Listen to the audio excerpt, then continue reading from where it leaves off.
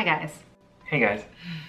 This is more of a serious video, which is a little bit different, but I wanted to talk about something that is kind of important to us and close to our hearts. Um, I guess I should just get right into it.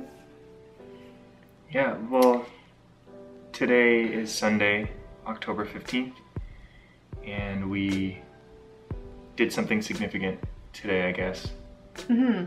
that Lou had wanted to do in some way or another for a while, and just wanted to share it with you guys. Mm-hmm. Um, October 15th is actually um, Pregnancy and Infant Loss Remembrance Day. And I didn't know that until this year, you know, when we had experienced a miscarriage. And um, yeah, so I wanted to do something special.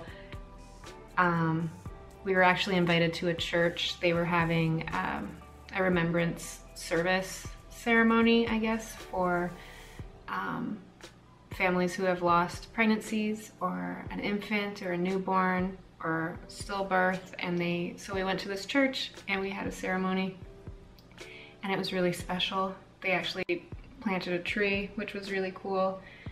And um, they played a really beautiful song. There was a poem and we actually wrote you could go up and write the name down of your child who you lost, which we did. Um, we did name our child. I don't know if we said that, but Yeah, we chose Um, to keep it to ourselves. hmm but just writing his name down, it's just hard to see. Um, but it, I just wanted to make this video just because I think it's important to kind of break the silence and the stigma that comes with miscarriage. It can be something that I think a lot of women or families just kind of suffer in silence. Maybe they're afraid to talk about it or they, maybe they feel like it's not a valid thing to grieve. I don't know, but for me, I just feel like it's important to to talk about, you know, if that makes sense. Um, it's and also for him, like for our baby that we lost, like it has been. I read this somewhere, and it's it was like perfect to how I feel. It's the most profound sadness that I've ever felt in my life, and and it was a life that we lost, and I can't not talk about it. You know, it's something that has changed me and will change the rest, just the rest of my life and moving forward. So I think I feel like I'm just ranting now at this point, but I hope that makes sense. Like I just feel like I, today's kind of a special day for us, so I wanted to make a special video because it it affects a lot of women and a lot of families, and we're probably not the only one that's Definitely not the only one. yeah no that's like taking this day to kind of remember. Mhm. You know what I mean?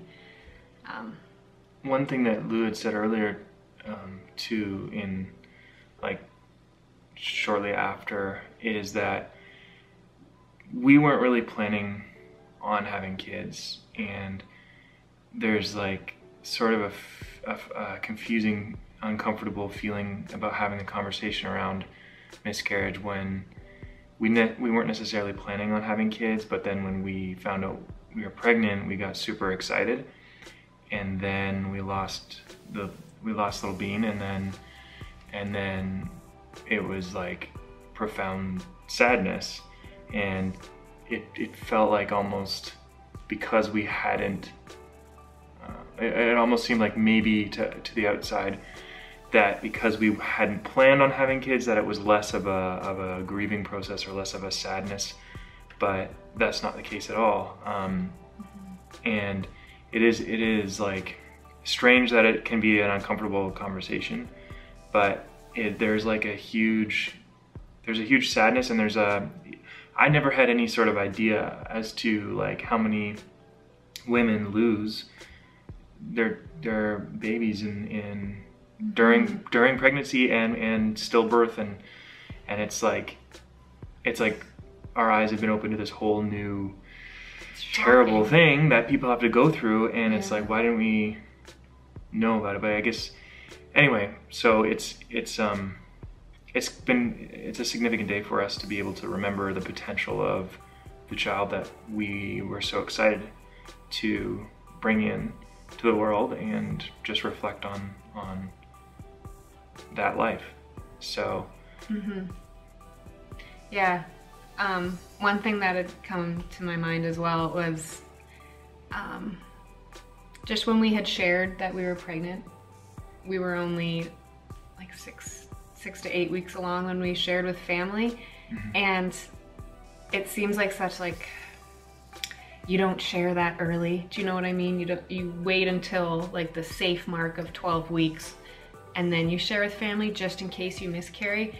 And I feel like I am so thankful that I got to share with most of our family anyway that we were expecting because now I feel like I have that support group. I don't think I would have done it any other way. I just feel like it's it's such a weird thing. Like you tell people and they're like, "Oh, you're so early." It just feels like I'm anyway, I'm glad in our situation, I'm glad that we did share as early as we did because then I have the support behind me. Do you know what I mean? Mm-hmm. I feel like sharing early is often frowned upon like you sh- you need to wait until like a safe mm. point, but there really there really isn't and I'm I'm just really grateful that I feel like it's something that I'm comfortable with talking to family and friends now because they knew we were pregnant if that makes sense. Mm-hmm. and we yeah yeah we had we had planned everything to share on here too so yeah. we had all this this like footage of our experiences that we wanted to celebrate somehow and uh, we did we we were able to do that Mm-hmm. um, and so that is kind of a nice thing to have to look back on when we remember that stuff Yeah. so and it was really nice that that this local church sort of initiated the conversation around baby loss discussion and, and miscarriage and all that stuff because it's not um, I, I don't think I've ever seen that in In a church. in um, not to my knowledge but again this is something new to us so yeah. it was nice to see somebody initiating that conversation so And Um, showing that support, you know, like yeah, that, that's helpful and for people looking for community around pain and loss. So yeah, um, that's it's important. yeah. hmm So we're gonna be lighting a candle tonight at seven. You said. Yeah, it's called a wave of light, I believe, celebration, where people all over the world just light a candle at seven for about an hour and just remember the lives that were taken too quickly. So we're gonna light a candle and remember our little bean. hmm So we just, yeah, I guess that's that's been our day.